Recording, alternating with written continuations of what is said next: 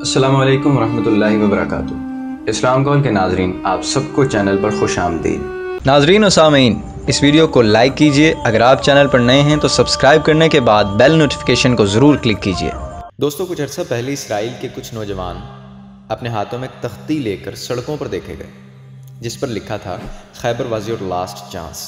यानी खैबर की फतह तुम्हारे लिए आखिरी मौका था। क्या आपको इसका मतलब पता है? नहीं ना? तो आइए जानते हैं। हज़रत मोहम्मद मुस्तफ़ा सल्लल्लाहु अलैहि वसल्लम के दौरे हयात में यहूदियों से एक जंग हुई थी। उस जंग में हज़रत अली रज़ी अल्लाह तु भी शरीक थे, जिसमें हज़रत अली रज़ी अल्लाह तु की ढाल टूट चुकी थी और जज्बात में हज़रत अली रज़ी अल्लाह तु ने दर खैबर, यानी खैबर का दरवाज़ा उखाड़ दिया। आपको जानकर हैरानी होगी कि उस दरवाज़े का वज़न इतना था कि जंग के बाद चालीस लोग मिलकर भी उसे हिला नहीं सकते थे।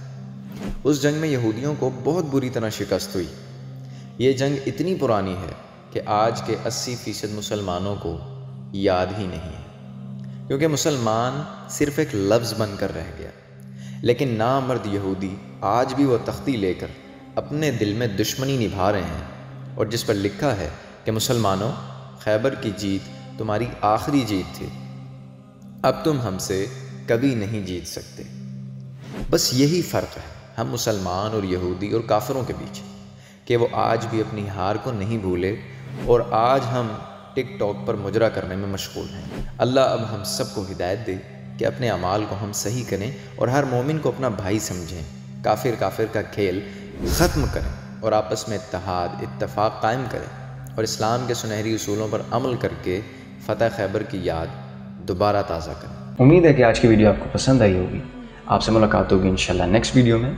तब तक के लिए अपना अपने इर्द गिर्द का खूब ख्याल रखें। असल वरहमल